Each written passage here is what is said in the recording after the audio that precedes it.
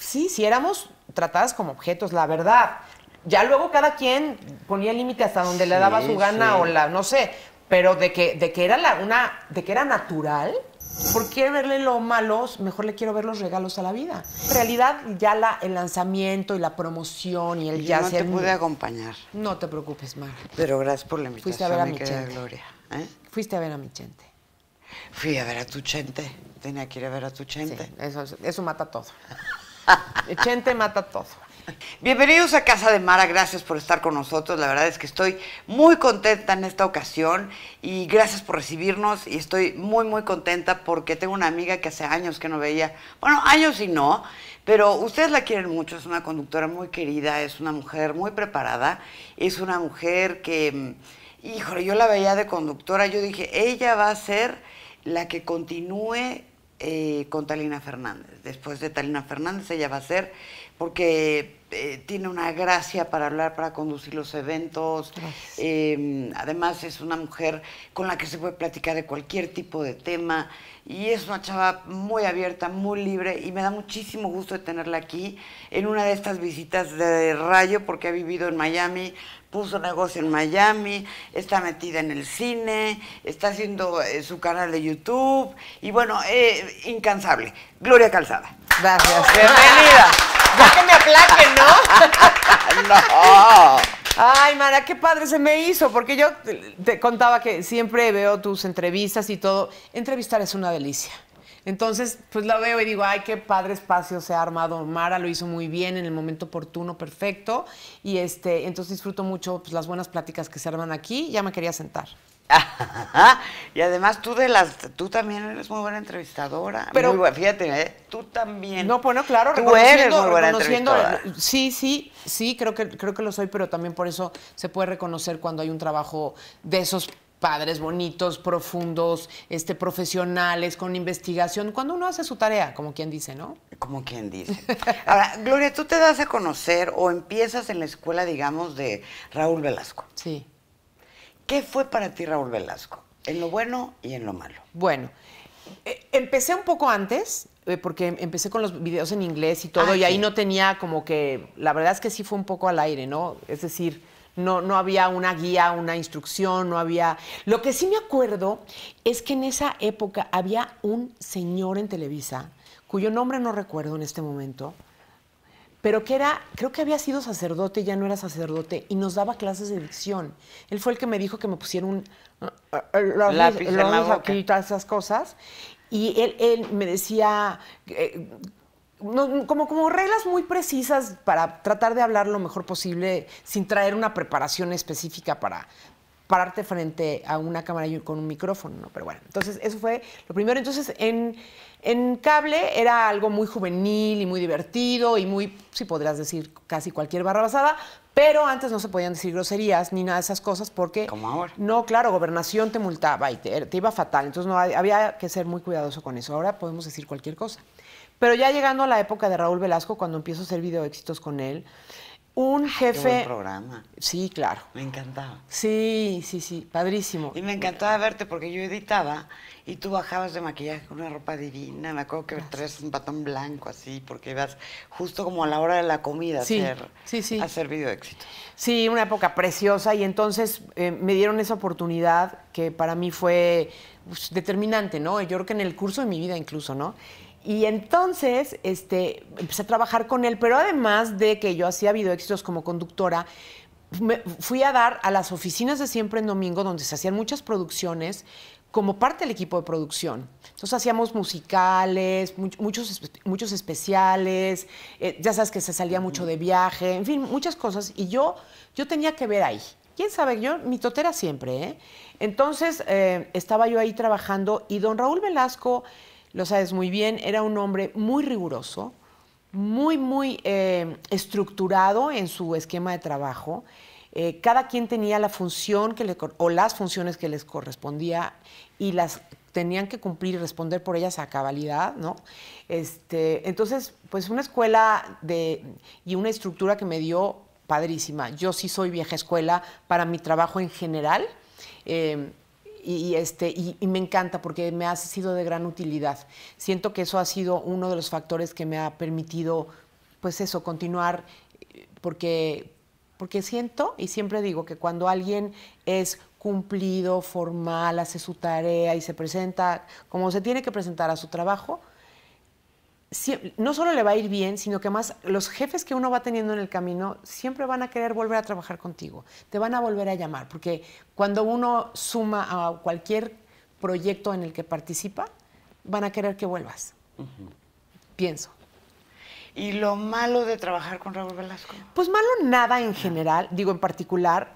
Lo que era, era de repente explosivo, pero conmigo se enojó, si acaso, un par de veces porque yo, yo no provoco la ira de las personas, yo soy muy pacífica, yo soy muy obediente, entonces no soy una persona que, que esté como eh, envuelta como en líos, ni en broncas, ni en peleas, ni en malentendidos siquiera. Entonces, este, soy muy apacible y, mi, entorno lo es. Entonces, no, no, yo sabía además también cómo, había que cómo no había que picarle los botones al señor Velasco, pero lo vi explotar muchas veces, ¿te acuerdas cómo se ponía? Rojo, rojo, rojo, rojo, rojo, y decías... De que, se cacheteó a Enrique, yo estaba a, a, Fernando Martínez. No, no fue Enrique. Yo estaba a un metro de distancia. Al manager de Fernando. A un metro de distancia estaba, y hasta me pegué contra la pared, porque estaba literal a esta distancia de, de ese momento. Fue, sí, no, yo, yo lo vi que estaba rojo, rojo, y dije, pobre Fernán, pobre Fernán. Porque Enrique se disculpó. ¿Contexto para la gente? Sí, claro. Estábamos en un festival Acapulco era en vivo y entonces llegaba Enrique Iglesias y él abría. O sea, es en vivo y tú abres, no hay mucho que hacer. Entonces Enrique aterrizó y en lugar de venirse directamente al centro de convenciones donde se transmitía la cosa, se fue al hotel a dar un regaderazo. Y entonces el señor Velasco estaba injertado en pantera literal y, y esperándolo casi en la puerta, casi en la puerta. Entonces, cuando se bajan del coche, camina Enrique cuán alto es y Fernán tan, no tan alto que es, y entonces se acercan, se acercan, yo me hago, yo me quité, ¿no? Y, este, y entonces le dice, eres un irresponsable, Enrique, o no sé, palabras más, palabras menos, ¿qué tú abres, no sé, no, ya llegué, Raúl, tranquilo, tranquilo, no sé. Y, Fernán, por también intervenir y ofrecer quizá una disculpa, no me acuerdo, ese, y le agarra al señor Velasco y le dice, tú no sé qué pasa, y le, y le da un sope aquí, perdón por el micrófono. Y yo dije, ay, ya. Pero lo bueno es que el señor Velasco, pues también, o sea, sacaba la rabia de ese momento y ya continuaba, o sea, no, no, no pasaba más, pues. Pero no quería ser el, el, receptor del madrazo, básicamente, ¿no? Ahora, hiciste muchas amistades, Gloria. Eh, de, de, pues, me acuerdo que estuvimos en casa de Julio Iglesias, que estábamos cenando, y que se llevaban pesaditos, se llevan pesaditos, Julio y tú. ¿Sí? Ay, es que ese día te dijo, Gloria, es que eres una... Cabrona. No, ¿qué? Puta. Ay, pero porque... No, pero eso lo dicen los españoles. Sí, porque, te, porque, nunca porque eres noviera. Ah, pero... Pero no, no, es el contexto de aquí. No, Como a los españoles le dicen también así, pero a los hombres, porque les gustan mucho las mujeres. Exacto. Pero además, ¿qué crees? O sea, no fui tan noviera y sobre todo, la verdad, y lo, a los 58 años yo digo todas las cosas sin filtro, y porque antes era como más recatada, puede ser, pero la verdad es que yo siempre he sido muy bien portada, ¿eh? O sea, yo no tengo mucho, mucha cola que me pisen, la verdad. Algo sí, claro, afortunadamente, sino que oso, qué vergüenza y qué aburrimiento, pero, pero no, la verdad que no.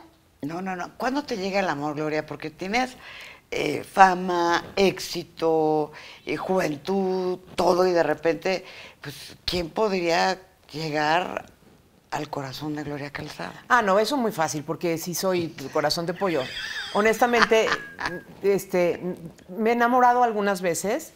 Y, mm, ¿Cuántas veces? Mm, nunca las he contado. Vamos a ver. El primer, primer amor, ¿no? El Ramiro de los 15 años, por supuesto, Ramiro cuenta. ¿Qué otro puede contar? Pues un par que tengo mala memoria, ¿vieras? Pero, bueno, pero no, la verdad no tanto. Yo creo, firmemente, no, no, creo, sé que el, el, amor más hermoso que he vivido, eh, que me he topado en mi vida, el que es, el que vivo con Carlos. Porque tu actual pareja. Sí. Yo, yo siempre decía, debe de ser terrible toparte con el amor de tu vida y que, y que se vaya, ¿no? O sea, que terminen o que se acabe, o sea, o que se desgaste horriblemente, ¿no? Entonces yo, viendo para atrás, nunca siento que haya habido un hombre en mi vida de esos así que digas, chin, mano, este, con este me hubiera encantado, sí, no sé, quedarme más tiempo o concretar algo más sólido, no sé. ¿no? Porque yo no hablo ni de matrimonio ni de esas cosas, pero este, no, no era parte de mi proyecto de vida, entonces no era el objetivo. Pero sí el de tener un amor lindo, sólido, hermoso, con alguien que te quieres quedar para siempre, ¿no? Básicamente. ¿Pero qué tiene Carlos que no tuvieron, por ejemplo, Joaquín Barona? Tu primer marido y único. El único marido que tenemos del momento, básicamente. Pero eh, Joaquín, no es que lo que tenga Carlos, yo creo que yo también estaba en, una en, otra edad rarísima. Yo, ¿sabes qué pasa? Que he llegado a muchas conclusiones. No, no, es que sean tardías, porque nunca es tarde para nada, pero. Es la madurez, Gloria. sí, desde luego.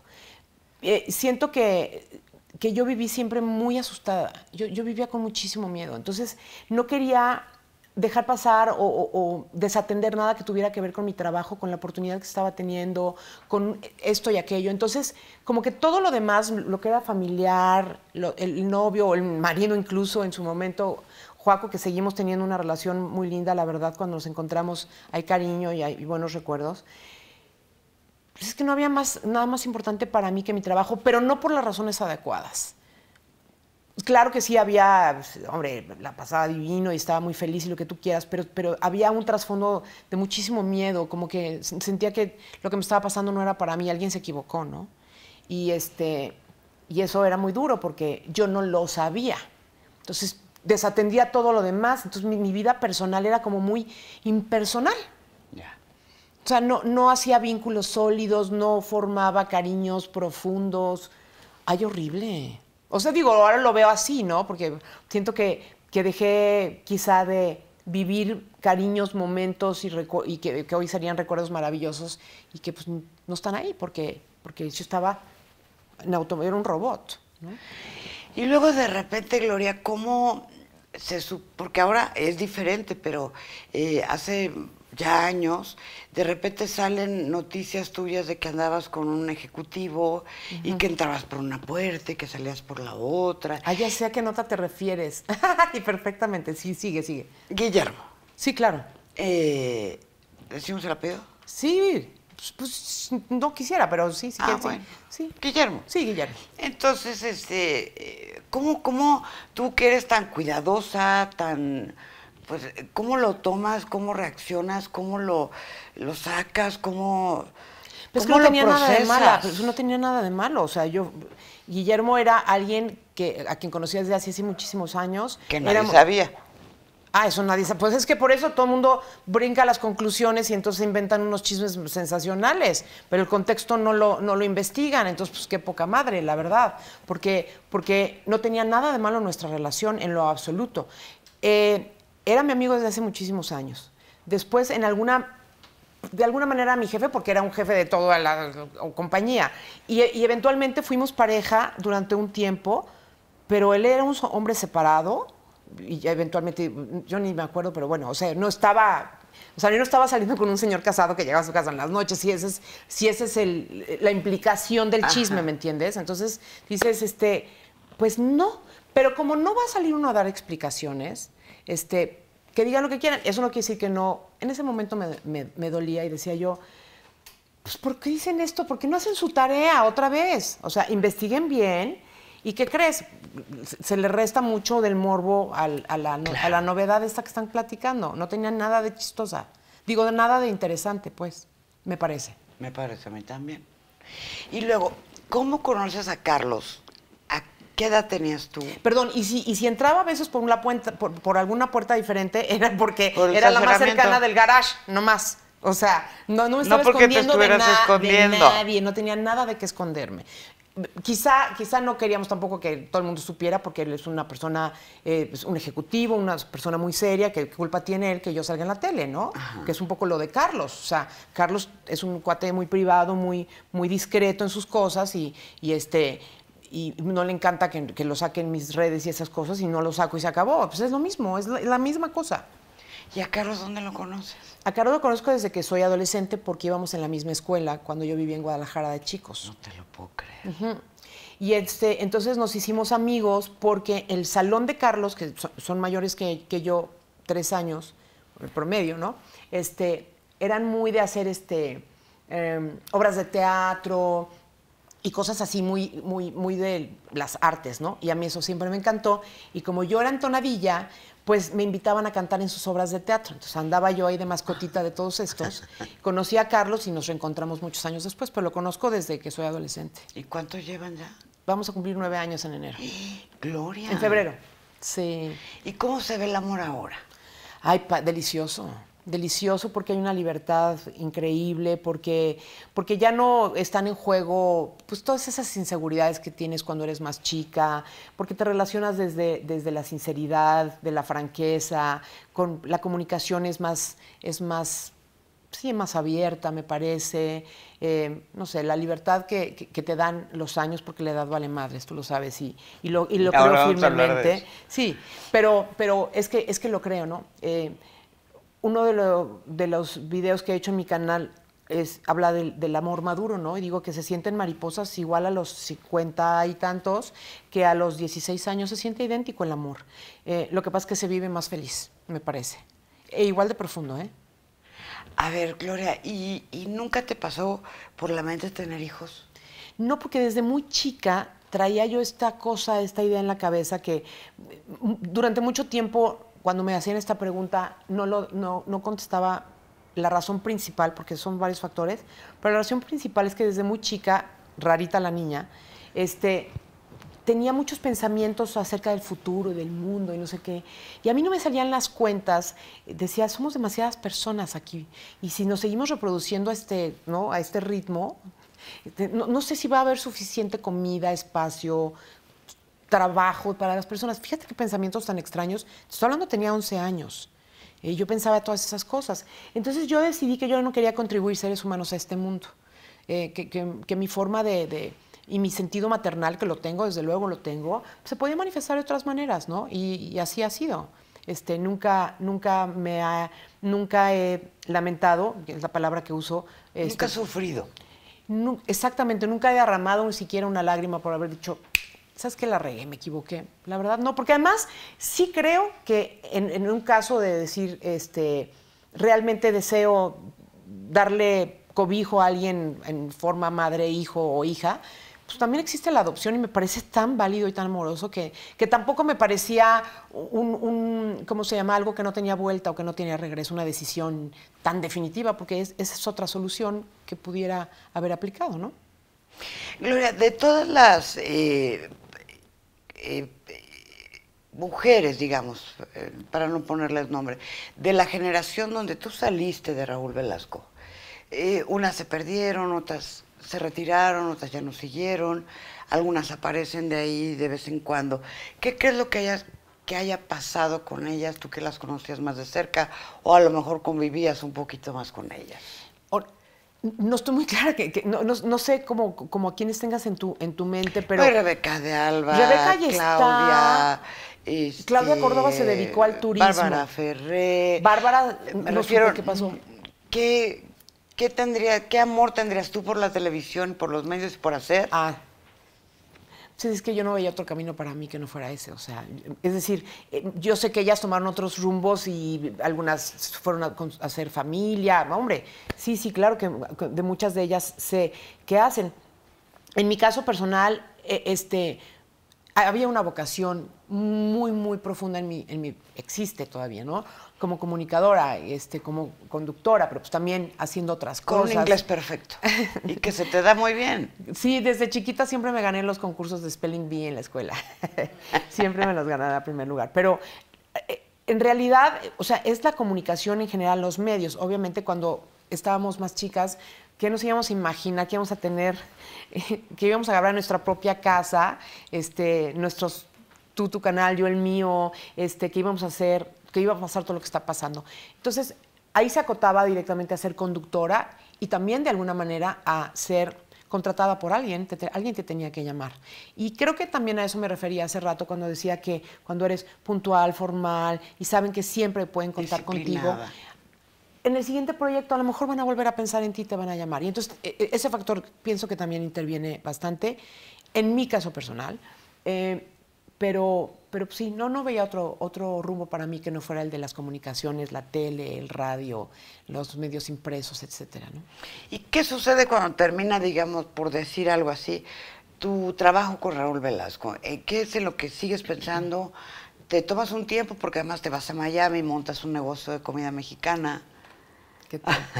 La Gloria Taquería Mexicana. Bueno, sí terminó, pero estuve en ECO. Estuve Claro, en ECO. sí, sí, sí, sí, en sí, ECO, sí. Que, era, que era padrísimo y tenía, tenía espacios en ECO todas las noches, de lunes a viernes, como a las 10 de la noche era mi espacio, bien padre. Pero además, fíjate, ahí fue donde ya me empezaron a encargar cosas como productora. Yo producía los espacios musicales que había en ECO. Este, con mi equipo. Ay, bien padre. Pues ahí me empecé a hacer que es que producer. Y pasó que yo quería irme, siempre precisamente por, porque soy bilingüe, yo tenía sueño de irme a, trabajar a Estados Unidos. Pero no enfoqué bien el sueño. Hoy, que sé sobre el poder de la manifestación, ahí sí me falló la puntería tantito, porque, porque tenía que haberme enfocado directamente eso. Ojo, ¿eh? Y cero es una excusa en lo absoluto, pero la, la manera de comunicarnos, los seis grados de separación que antes existían ya son uno o dos cuando mucho. Entonces, este, era mucho más complicado acceder quizá a los contactos, a poderte entrevistar con la persona que te pudiera, no sé si contratar o lo que sea, o decir, ¿sabes qué? No me importa, quiero jalar cables, pero, pero en inglés, ¿me entiendes? Para, para poder eh, haber emprendido ese camino que me habría encantado. Y este, no, se, no se dio de esa manera, pero sí quería irme a Estados Unidos. Se me dio justo yéndome a Univision a trabajar, eh, que estuve, mira, como cuchillito de palo, hasta que me dieron la oportunidad. Y luego tu negocio. Entonces estaba en Miami y muy contenta y muy feliz y de repente por cuestiones personales y todo una ahí sí se todo se derrumbó dentro de mí, dentro de mí y entonces me salí de, de todo por un tiempo corto, pero muy intenso y cuando quise volver a Univisión me dijeron que ya no podía ir, que porque me había ido, entonces que el que se va no regresaba. Digo, esa era la política en ese momento, momento. las cosas siempre cambian, lo que sea. Y entonces yo quería poner una taquería en Miami, eso sí, pero acabé poniendo, por circunstancias larguísimas de contar, un restaurante muy grande. Y ahí me tenías y fue una época de muchísima zozobra para mí, porque las condiciones, o sea, porque, en fin, todo no salió muy bien. Entonces me quería deshacer de eso inmediatamente y fue cuando seguí, vol- volví a intentar entrar a la televisión y me fui a Telemundo. Ahí vino Telemundo. De ahí ya me regresé con Televisa y así, para siempre. Y luego Bueno, haces cine. Sí, eso es porque mi hermano Luis se dedica, eh, a- bueno, ya no, pero era distribuidor de cine. Y entonces yo, cuando me regreso de Miami, es que me- nos brincamos una parte, bueno, me regreso a Miami después de haber sido directora de TV Novelas USA, el peor trabajo que he tenido en toda mi vida. Me lo no, puedo por el, no por el trabajo en sí, sino No, por lo la- que tienes por- que publicar. No, no, uy, no, porque yo dije que yo no me iba a meter a los sí, chismes. no. no, no, yo no me metí a los chismes, ¿eh? Les dije que ahí sí no le entraba. Pero como me tocó con, trabajar con una, una señora, con una jefa que aparentaba ser la abuelita del cuento, toda dulce y buena. Y, Era y- maléfica. Ay, sí, la verdad sí. Y, y nunca, nunca yo culpo a nadie de nada de lo que pasa en mi, en- en mi vida, porque somos responsables de todo lo que nos sucede. Pero sí, ahí sí siento que me fui con la finta durísimo y me, en fin, fue terrible. En total me corrieron, me corrieron, me echaron así de cajita, con permiso. Tengo el video en mi, en- en mi canal de YouTube por si lo quieren ver, porque es chistosa la historia. Me echaron de ahí y entonces me quedé sin trabajo y pues yo trabajo para vivir, es decir, ¿no? Entonces decía, ¿cómo le voy a hacer para seguir en Miami en dólares, ¿no? O sea, pagando mi casa, estaba pagando todavía mi casa. Yo dije, "Pues, tengo que hacer algo aquí y no veía claro en Miami. Entonces me vine a México, mi hermano me dio trabajo en su compañía distribuidora de cine, de directora de marketing. Entonces ya estaba yo trabajando en eso cuando un amigo mío me cuenta que escribió un guion y cuando me platica el guion, se lo enseño al cuate que le leía y, y le acercaba los guiones a mi hermano para, para comprar los derechos de distribución. Tú me dices estoy muy chorera, ¿eh? No, hombre, Eh, tú ok, perfecto. síguele. Y entonces, este, este cuate lo lee y dice, está increíble. Yo también cuando mi amigo me contó la historia dije, está increíble. Y no sé cómo, alguien decidió que yo iba a ser la productora de esa película. Te juro, no, no- ni siquiera solicité eh, serlo yo, ni, ni siquiera sabía qué implicaba ser productora en cine, porque es, es distinto Es ser productor en, en la tele que en el cine. Son cosas diferentes, trabajos distintos, eh, responsabilidades diferentes. Dineros. No necesariamente, pero sí, es, sí son otras, este, son otras eh, características. Labores, sí. Sí. Entonces, pues acabé siendo la, productora de Paradas Continuas, experiencia divina para mí. Eh, lo volvería a hacer, sí, pero siento que para, para hacerlo tendría que ser un guion que realmente yo amara, que dijera, o sea, yo voy hasta las últimas consecuencias para defender esta película y llevarla por, por los caminos que ahora sí ya me sé. ¿No? Aunque tuve la fortuna enorme de que, de que una de las mujeres más importantes en el cine en México, que es Mónica Lozano, una de las grandes productoras, estuvo a mi lado como un angelito, siempre guiándome, calladita ella, pero siempre allanándome el camino de una manera bien, bien, bien generosa. Gloria, yo soy enemiga de la palabra empoderamiento. Ay, me choca. A mí me choca. Sí. Porque no creo en esa palabra. Yo creo que las mujeres siempre hemos tenido fuerza y siempre la hemos ejercido. Sí. De, los anales de la historia. Eh, ¿Cómo eh, sientes que es la relación mujer con mujer? ¿Por qué? Porque a veces las peores enemigas de las mujeres somos las propias mujeres. Yo me resisto un poco a esa frase, porque además habiendo estado en Netas Divinas este, 11 años, ¿Y por qué te fuiste? Ahorita, ahorita te lo cuento con mucho gusto, pero me, me gustaría abordar esto porque sí es un tema que, que- que siempre me, me importa mucho dar mi punto de vista cuando me lo preguntan. Y es que no estoy tan de acuerdo. Yo siento que cuando las mujeres o el grupo de mujeres en cuestión es un grupo de mujeres generosas, inteligentes, no pasa eso. Y, y- y por eso en las netas divinas nosotros de verdad no podíamos ser más diferentes la una de la otra. Ah, pero cómo nos reíamos. Yo fui de Claro, invitada con pero ustedes. no, ya hablando en eh, cortito, nosotras solas, juntas, ¿no? Que de repente, pues una trae cólico y otra, o sea, todo el mundo estaba pasando por distintas circunstancias en su vida y, y se creó un entorno de amor profundo. Yo soy una mujer, lo dije hace rato, soy increíblemente pacífica, soy, o sea, creo que si no nos metemos ideas en la cabeza, en todas las áreas de la vida, pues no, no nos hacemos daño. Y creo que e- eso, de las mujeres, que es la peor enemiga, yo no puedo en este momento recordar un evento donde una mujer yo piense que deliberadamente me quiso lastimar o hacer daño. No te podría dar un solo ejemplo. Porque no creo en ese concepto, la verdad. Ahora, por otra parte, nosotros estando en Televisa, tantos años, eh, eh, de repente eh, piensan que, estando en Televisa, pues todo el mundo te echa el perro los productores te dan trabajo por lo mismo. Y, yo tengo una visión muy diferente de eso, Gloria. Yo también. Eh, yo te puedo decir que estando en Televisa, que un productor me haya querido ligar, sucedió una sola vez, y le dije, no, muchísimas gracias, y ya, no pasó nada. Lo juro, de verdad. Y yo sé que luego la gente dice, "Ah, ya, ya, ya". yo estoy aquí diciendo puras verdades, piensen lo que gusten. Yo estoy diciendo la verdad. Y solamente una vez me lo propusieron, aparte de una manera muy elegante. ¿Ah, sí? Ya me querían llevar ¿Y a estaba París. guapo? y no- sí, Casadote. Claro. Me quería llevar a París. ¿Y por qué no? Y no sé A jugar cartas, seguramente. No, no sé a qué quería, pero... pero A, este, a- rezar el le dije, no, muchísimas gracias. Le- pero aparte le dije, porque yo lo que sí debo decir es que, ya no, pero era como muy inocentonga, ¿no? Entonces yo, pero no me, pero no, no, no, no está padre que me invites a París porque pues tú eres un cuate casado, yo no voy a ir contigo, yo no, no, no, no pienso de esa manera, así que pues, ni me lo vuelvas a proponer y ya. Entonces no pasó nada, ¿me entiendes? O sea, no hubo ni, ni, ni, ni, ni, oh, ¿qué hago? Pues no, no pasó nada, ya, o sea, se acabó next. Entonces, yo, yo tenía mucho también esa idea de ser muy cuidadosa con mi manera de conducirme yo. Entonces, si te acuerdas, jamás me viste. Bueno, ni se usaban los escotes ni las minifaldotas No, y esas nunca cosas. fuiste. La verdad. Entonces, pero yo tampoco quería dar esa imagen porque. mm, eh, Pero además no te quedaba esa imagen, Gloria. Tú siempre has sido como muy... Pues es que no era yo. Tendría que haberme. No, no me hubiera ni atrevido, a ver. Eres me hija de familia, tu- pero tus me hermanos, tu en este educación. miedo. Sí, pero yo me sentía en este miedo, acuérdate, en que yo me sentía sin guía, sin, yo tenía a mi papá y todo, pero, pero no, no, yo, yo sentía que tenía como una imagen protectora masculina, que, ¿sabes? Que saliera a partirle la madre a alguien por mí. Entonces, yo sentía que si yo no me daba a respetar y si yo no era, y si yo no me ganaban las cosas con mi trabajo, con mi puntualidad, con mi formalidad, con mi preparación, tampoco me, me- o sea, no me interesaba.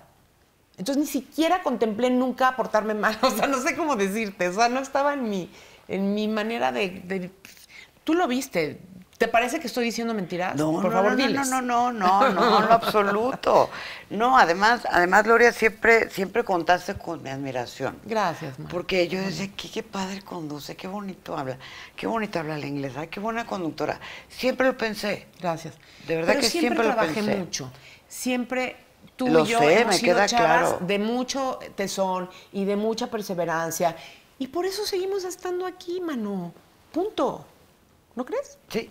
Exacto. Entonces, ahora, eh, lo que yo quiero transmitirles a, a- a las mujeres es que es suficiente decir no. Claro. No, no hablar 10, 20 años después y decir, es que me faltó el respeto. ¿Sabes? Porque ahora yo creo que ya ni un hombre puede decir a qué guapa te ves porque ya se siente acoso. Cuando, cuando empezó a suceder todo eso en Univisión, me acuerdo perfecto que había un señor mayor que trabajaba ahí, adorable. Y entonces, este, de plano, en las mañanas, cuando llegabas a trabajar, te decía, qué inteligente amaneciste hoy. ¿No? Para que no haya de que, ay, este cuate me está, me está haciendo sentir incómoda, ¿no? Aparte, bueno, yo siempre digo que lo que sí es verdad, así como, como cuento que solamente una vez me hicieron una proposición de este tipo, les voy a decir que lo- es que si era normal oír cosas así, ¿no? O sea, sí, si éramos tratadas como objetos, la verdad. Ya luego cada quien ponía el límite hasta donde le daba Sí, su gana sí. o la, no sé, pero de que, de que era la, una, de que era natural y aceptado, a mí sí, esa sería mi percepción. Claro, pero no te decía qué buenas nalgas tienes, con perdón de ustedes. ¿Estás de acuerdo? Te qué No, le guapa te ves. No, ahí sí yo este, daba qué, qué pelazo, este, Claro. qué bonita te ves. Sí, sí, en sí, fin, sí. eh, hasta ahí llegaba. Sí, sí, sí, sí, sí. Pero nunca era de nalgada No, no, o de palabras refiero que te, te- te- te hacía una proposición, tampoco era como que no se ofendía a nadie, o sea, o le entrabas o no le entrabas, pero Y como punto. que es normal, o sea, era esperado que sucediera. ¿Y ahora cómo lo ves? No, pues ¿Cómo que- está el mundo, por ejemplo? ¿Cuántos... eh, Plácido Domingo, que es galante, que es coqueto, que es... Pero tú, pero Plácido es así. Sí. Y, me pareció tan injusto que 20 años después le cancelen conciertos, Sí, lo bajen del escenario, no le den los premios, por cosas que pasaron hace más de tantos años y que seguramente se aceptaron, Gloria. O no, pero no? o no, pero este es un tema sumamente polémico y desde luego tengo una postura. El otro día platicando con una amiga mía, actriz bastante famosa y muy hermosa, por cierto, este y tengo varias, así que este no van a tener quién es. este me decía, pero es que a mí nunca, porque a mí no me ha pasado eso, o sea, No, ni a es mí. decir, eh, A mí si el productor te dice, nos vemos en mi cuarto de hotel a medianoche, este, este, güey, no sé, no sé. No te está invitando a ver el No noticiero. sé, a lo mejor es muy ocupado y viene llegando de un vuelo y mañana se va muy temprano, pero entonces Pues lo ves en el lobby. en el lobby del hotel o, o- o con, tes- no sé, o sea, que me acompañe mi hermana, mi testigo de honor, mi manager, alguien, ¿no? Este, ¿cómo se llama? Me acuerdo que a mí no me pasó, pero a una amiga mía, muy famosita, ella también, hace muchos años, un señor también eh, ejecutivo, picudo, la, la, la, decía, ay, Gloria, ayúdame por favor a que esta persona venga a mi cuarto en la noche. Y yo, por... Mm, a ver, es mi amiga, tú eres casado, ella es una chava decente, pero ni siquiera le gustaría, ni tú- menos contigo. Ah, ¿Qué les pasa? O sea, ¿por qué creen que porque tienen poder y porque no sé qué? Entonces me acuerdo que yo lo mandé a volar a nombre de mi amiga. Ah, muy bien. Sí, sí, sí. Eso muy bien por ti. Sí, ¿eh? sí, sí, sí. Muy bien por Sí, ti. muy bien. Ella me lo agradeció. Luego pasan los años, Gloria, ¿y en qué momento te das cuenta de eso? ¿De que están pasando los años, de que tu piel ya no tiene la misma fuerza, de que ya empiezan a salir las arruguitas, las canas, porque con, con eso uno no cuenta cuando estás chava. Cuando estás en el ajetreo, vas, vienes, subes, no te das cuenta cómo pasan los años, por lo menos en mi caso. Coincido 100%. Eh, lo que pasa es que yo, yo digo que tengo el alma muy joven. O sea, soy una curiosa permanente, me interesa saber todo de, de, y eso cómo funciona y, cómo, no sé, con todo el mundo, observo muchísimo y estudio muchísimo lo que pasa en el mundo en todas las cosas. O sea, soy una curiosa permanente, una, sí, me, gusta saber cosas. Entonces, este, estoy llena de vida por dentro, esa es la verdad. Y pues como que no me importa tanto que ya no me puedo poner minifaldas. O sea, me empecé a poner Botox al- hace, hace varios años. Porque no tiene nada de malo ponerse Botox. Tú me recomendaste a Olga. Olga la Bastida, claro. Porque no tiene nada de malo, porque si te quieres arreglar es lo mismo que si te quieres pintar el pelo, si te quieres pintar las uñas, es lo mismo. Me dicen, Gloria, ¿por qué dices que la edad vale madres y luego te haces Que así se llama tu nuevo libro. Sí, exactamente. ¿Por qué dices eso y no aceptas tu edad y envejeces dignamente? Porque no me da la gana. Porque yo, si yo quiero que mi exterior refleje lo que sucede dentro de mi corazón, en mi mente, en mi, en mi, esa curiosidad a la que hago este, referencia. Quiero, quiero este, es- verme bonita para mí, para Carlos y para la gente que me sigue. Porque, porque siento que para eso están estos adelantos que nos permiten no dejar que todos, no, no sé cómo me vería hoy a mis 58 años si nunca me hubiera puesto Botox o algunos rellenos y me hubiera un- hecho una cosita que me hice el otro día. O sea... ¿Qué te hiciste, mano? Ahorita te voy a contar, esa está buenísima. Y entonces, porque no me quiero, no me quiero restirar la cara, no me quiero operar, ¿ok? Eso sí no quiero, la neta. Pero entonces por eso sí, oye, ¿por qué si en lugar de traer unas arrugazas traigo las que traigo? Cállate los ojos que mira que yo ya tengo que... Está, pero está perfecto, porque eso está bonito. Está bonito no estar tampoco, no sé cómo. O sea, no me gustaría, pues, a mí, en mi físico personal, que es el, sobre el único sobre el que tengo poder, control y decisión. Entonces, ¿me hago cositas? Claro que sí. Las que puedo, pero por ejemplo, hay cosas que no te puedes hacer. Cuando se te cae, cae esta- esto así y las La rodillas rodilla. empiezan a hacer así, ¿qué? ¿Te vas a jalar aquí te las enrollas o cómo Y está la estás onda? un mes en el hospital. o que- Ah, pero no. además te quedan unas cicatrices horribles. Horrible. Esas cosas yo no las voy a hacer. Lo que es muy invasivo no me interesa. Y tampoco que somos de hacer ejercicio. Yo sí. Yo no, Ah, no, yo sí. porque no tenía tiempo. En mis tiempos Tienes no que tenía leer la edad tiempo. vale madres, pero bueno, este, eh, pero yo sí, hago- antes no hacía ejercicio, ah, eso es verdad, antes no, No, porque no te da tiempo. pero ahora ya, sí hago ejercicio desde Pues hace unos años no me para da acá. tiempo, mano. Pero ya, voy a, a comprar tu libro y voy a ver qué Ahorita a consejos me das para empezar a hacer, a ordenarme hacer ejercicio aquí, aquí. Prendes eso, pones un video de YouTube y haces ejercicio. 15 minutos, 10 minutos, 25 minutos, lo que quieras. La neta, Va. sí se puede. Pero no se sube la rodilla con eso. Ah, no, claro. Ah. no, no, pero eso no significa que pueda usar minifalda. Ya esa ya va bye. ¿No? Entonces uno se. Todo lo que tapa ayuda. Exacto, por eso, decía mi mamá. Es la regla de la moda. Todo lo que tapa ayuda. Claro, ¿no? Entonces, de verdad, de verdad, de verdad, a mí me importa que no envejezca el alma, que no te envejezcan las ideas, que no te envejezca la perspectiva, que no te envejezca este, tu- manera de relacionarte con el mundo exterior, con los de antes, con los de ahorita, con los de después. O sea, eso, eso sí me parece que es envejecer. La apariencia física, te digo, te puedes ver digna con ciertas ayudas, el tiempo que tú decidas. Y a lo mejor un día de estos, como digo en mi conferencia, ¿no? De repente algún día de estos decido dejarme crecer las canas, las patas de gallo y las lonjas. No, quizá. Pero mientras no sea mi, mi gusto y mi, y, mi, y- mi decisión, yo no me detengo y no, y no, insisto, este, no es que no quiera envejecer dignamente, me parece que lo estoy haciendo. Que, que llegaré a unos 70 o ya a unos 80 poca madre, este, con unas experiencias increíbles, este, con, una, con una historia de vida padrísima, queriendo y pudiendo todavía relacionarme con otras generaciones, quizá todavía proponiendo ideas, o quizá ya me quiero retirar simplemente para cocinar todos los días y recibir No, no te veo, no te veo, pero bueno, a lo mejor. Es uno de mis sueños grandes, ¿eh? Pues sí, y cocinas muy rico. Sí, pero entonces esos son mis sueños grandes, que a lo En mejor... Guada- es que ya está viviendo en Guadalajara. Ajá, exacto. Entonces ahí puedo, entonces, los recibo ahí en la casa y les hago de comer. ¿Sabes hacer tortas ahogadas? ¿Qué crees que no? Bueno. Pero bueno, las compras. salsitas, es, es que no, Las ver, compras. compras el virote, compras la carnita y las salsitas sí las podría hacer. Ah, Esas sí tengo en la bien. receta. Ah, muy bien. Sí tengo en la receta. ¿Tus perritos?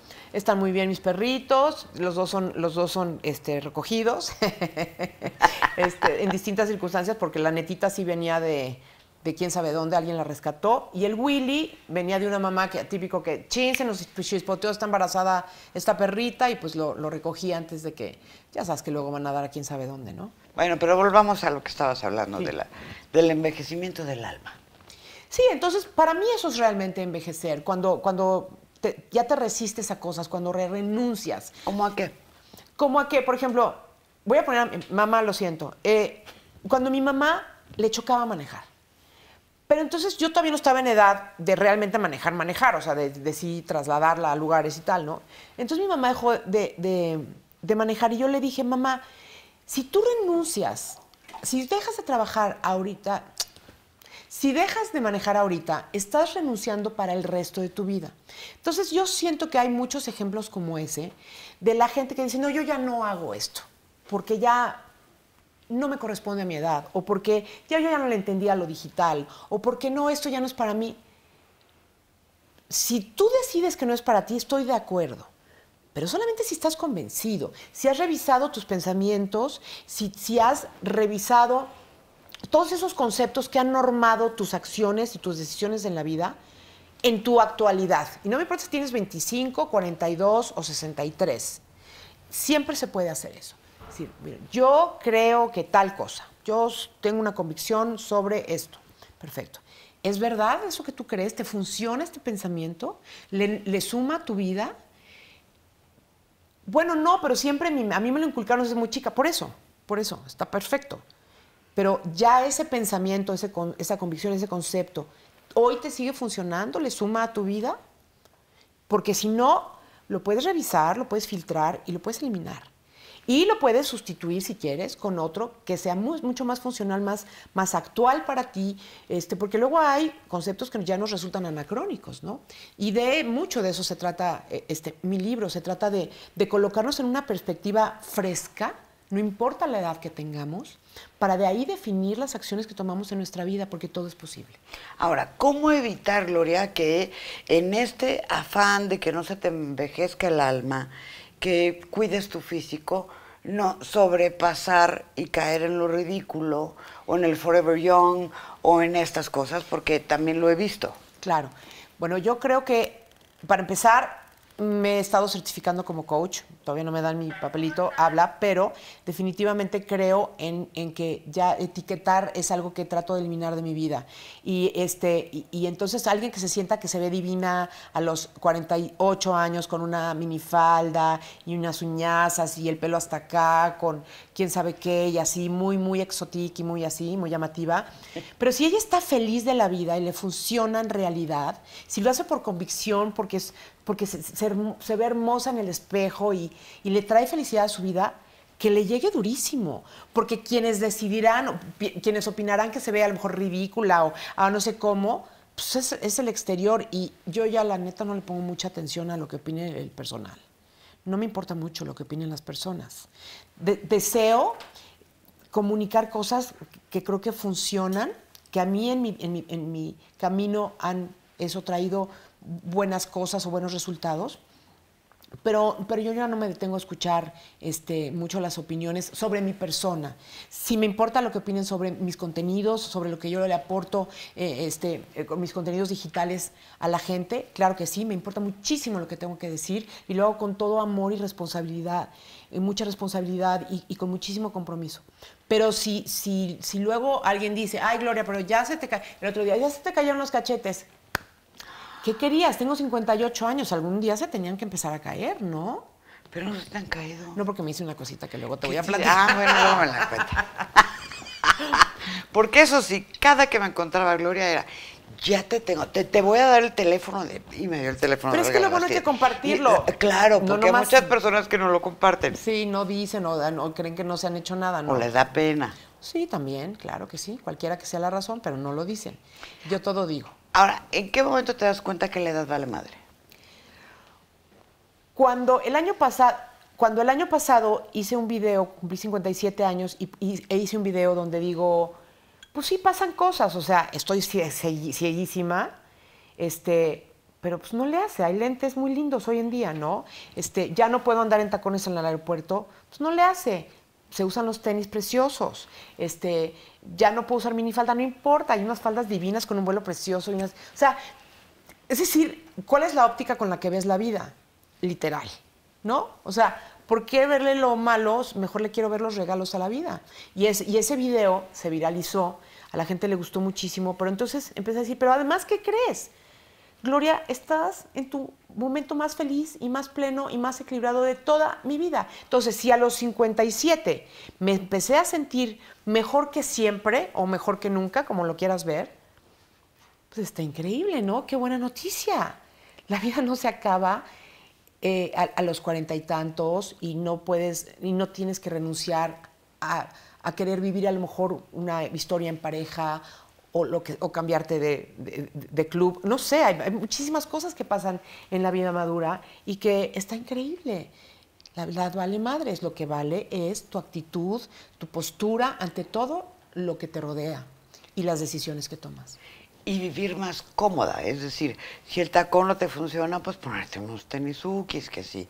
Eh, eh, como tú dices, si no ves, si te operas, si no funciona, pues te pones tus lentes. En fin, hacer tu vida más cómoda, irte adaptando a lo que va viniendo. Dar las gracias a todo lo que ya las dio, literalmente, ¿no? O sea, que por servir, gracias por el servicio prestado, ojitos lindos. Ya me voy a operar y me voy a tener que poner un lente intraocular. Perfecto, pues ese es perfecto, pero entonces hago tomo acciones que extienden mi bienestar, tanto de salud, o sea, ver bien es muy importante.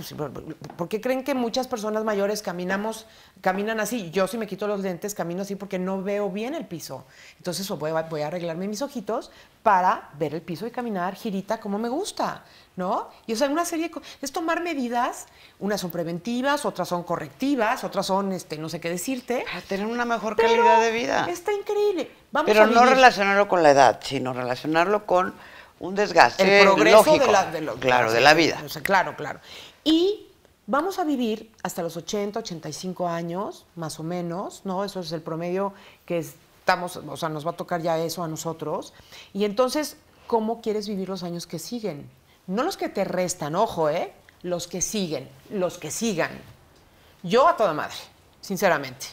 Plena, feliz, contenta, bien alimentada, saludable, con mis articulaciones aceitaditas, con mis músculos fuertes que me sostengan, con mi mente ágil, este, interesada en las cosas, enterada del mundo que me rodea. Yo quiero vivir así.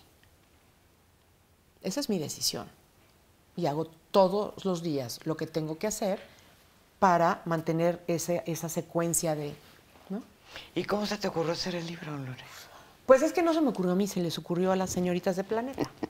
Porque, entonces, a raíz de esta conversación, te voy a decir qué está pasando. Hay, hay otra vertiente. Entonces, estas personas juveniles, ¿no? Que dicen, no, pues ya estoy ruca, tengo 30 años. O ya estás ruca. No, no, uno, órale, perfecto, no, pero ellos dicen, ah, ya estoy ruca, tengo te 30 encuentran, años. te dicen, qué bien conservada estás. No, ya me dijiste ruca, pero de plan. Perfecto, muy bien. ¿Por qué opinan que ellos, que tienen 30, 30 años, ya cumplí 30 años? ya estoy ruca. Entonces, ahí les va. Y eso lo van a oír muchas veces porque lo voy a seguir diciendo. Es, si tienes 30 años y opinas que estás vieja o viejo y vas a vivir hasta los 80, ¿quiere decir que vas a ser una persona vieja los 50 siguientes años de tu vida? Neta eso es lo que quieres, ¿por qué no ese pensamiento le das la vuelta y lo eliminas? Es una conversación absolutamente, para empezar, inútil.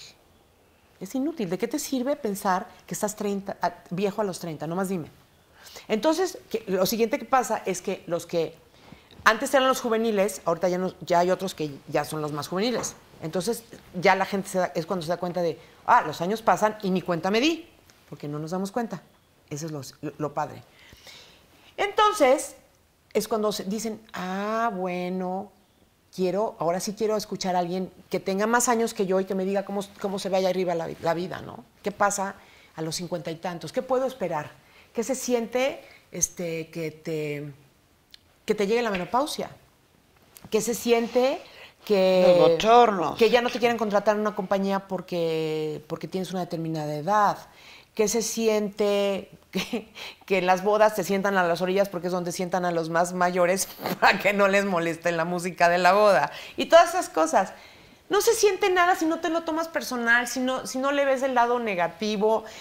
Todo está increíble. Y, y no vengo aquí del Club de los Optimistas. Es algo que estoy viviendo todos los días de mi vida y funciona. Y por eso se los comunico y se los participo y se los comparto.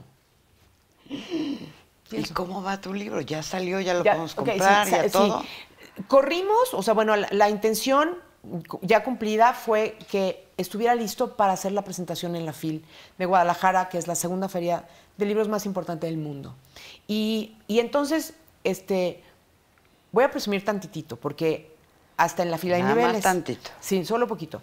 Y, y la verdad es que dieron, me dieron una de las salas grandes, en el, hor- el horario estelar, casi casi, donde sabes que así. Entonces estuvo lleno, gente se quedó de pie, eh, estuvo muy lindo. Paola Rojas, que es muy amiga mía, me hizo el enorme honor de venir a, a presentar el libro. Entonces fue una experiencia amorosísima y la gente creo que salió muy contenta.